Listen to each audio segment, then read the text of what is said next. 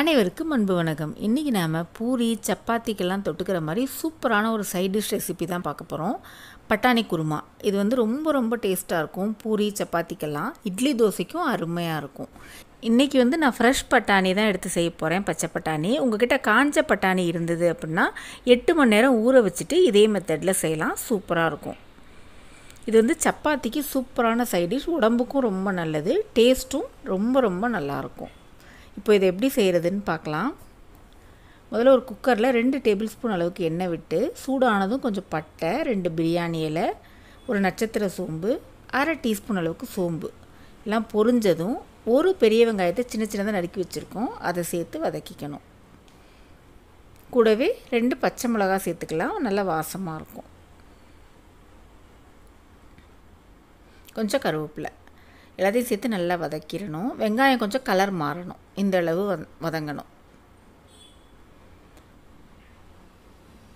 இப்போ இதில் ஒரு டேபிள் ஸ்பூன் அளவுக்கு இஞ்சி பூண்டு பேஸ்ட்டு சேர்த்து அதையும் நல்லா வதக்கி விட்டணும் அதோட பச்சை வாசனை போனதும் ரெண்டு தக்காளி மீடியம் சைஸில் ரெண்டு தக்காளி எடுத்து நறுக்கி வச்சுருக்கோம். அதையும் சேர்த்து வதக்கிக்கணும். கூடவே குருமாக்கு தேவையான அளவு உப்பும் சேர்த்துக்கலாம். நாளைக்கு ஒன்றரை டேபிள் ஸ்பூன் அளவுக்கு உப்பு சேர்த்துருக்கேன். சேர்த்து நல்லா வதக்கிடணும். தக்காளி நல்லா வதங்கும் உப்பு சேர்த்து வதக்கும்போது. இந்த அளவு வதங்கினதுக்கப்புறம் ரெண்டு டேபிள் ஸ்பூன் அளவுக்கு மிளகாய்த்தூள் ஒரு டேபிள் ஸ்பூன் அளவுக்கு மல்லித்தூள். சேர்த்து நல்லா கலந்து விட்டுருவோம். இப்போ இதில் நான் ஒரு கப் அளவுக்கு பச்சை பட்டாணி சேர்த்துக்கிறேன் ஃப்ரெஷ் பட்டாணி. காஞ்ச பட்டாணியில் செய்கிறதுனா எட்டு மணி நேரம் நல்லா ஊற வச்சுட்டு தண்ணியை வடிச்சிட்டு சேர்த்துக்கணும் இதே மாதிரி. அதோட அரை டேபிள் ஸ்பூன் அளவுக்கு கரம் மசாலாவையும் சேர்த்து நல்லா வதக்கிடுவோம் எண்ணெயிலேயே. அப்போ தான் நல்லா வாசமாக இருக்கும். இல்லை நல்லா வதங்கினதும் ரெண்டு டம்ளர் அளவுக்கு தண்ணி ஊற்றிக்கலாம் ரொம்ப தண்ணி ஊற்றிடக்கூடாது குருமா ரொம்ப தண்ணியாக போயிடும் இது வந்து வெந்து வர்றதுக்கு கரெக்டாக இருக்கும் ரெண்டு டம்ளர் அளவு. ஊற்றிட்டு குக்கரை மூடி வெயிட் போட்டு ரெண்டு விசில் வச்சு எடுத்துக்கலாம். வரட்டும். விசில் வர நேரத்தில் நம்ம தேங்காய் அரைச்சிக்கலாம். அரை மூடி அளவுக்கு தேங்காயை திருவிட்டு சேர்த்துக்கலாம். கூடவே அரை டேபிள் ஸ்பூன் அளவுக்கு சோம்பு. சேர்த்து கொஞ்சமாக தண்ணி விட்டு பேஸ்ட்டாக அரைச்சி எடுத்துக்குவோம். அரைச்சாச்சு. இது இப்படியே இருக்கட்டும்.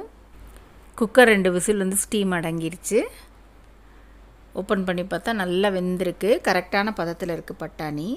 நல்லா வெந்திருக்கு பாருங்கள் இது அப்படியே கொதிக்கட்டும். திரும்ப அடுப்பு பற்ற வச்சு நல்லா கொதிக்க விடணும். நல்லா கொதிக்கும் போது நம்ம அரைச்சி வச்சுருந்த தேங்காய் விழுது சேர்த்துக்கணும். தண்ணி திரும்ப சேர்க்க வேணாம். மிக்சி ஜாரை கழுவிட்டு கொஞ்சமாக சேர்த்துக்கிட்டா போதும். சேர்த்து எல்லாம் சேர்ந்து நல்லா ஒரு கொதி வரட்டும். ஒரு ரெண்டு நிமிஷம்.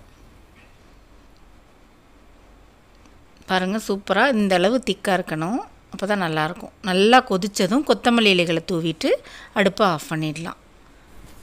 அவ்வளோதான் நம்மளோட சுவையான பட்டாணி குருமா ரெடி ஆகிடுச்சு இது வந்து ரொம்ப ரொம்ப டேஸ்ட்டாக இருக்கும். பட்டாணி வந்து உடம்புக்கும் ரொம்ப நல்லது. குழந்தைங்களும் விரும்பி சாப்பிடுவாங்க.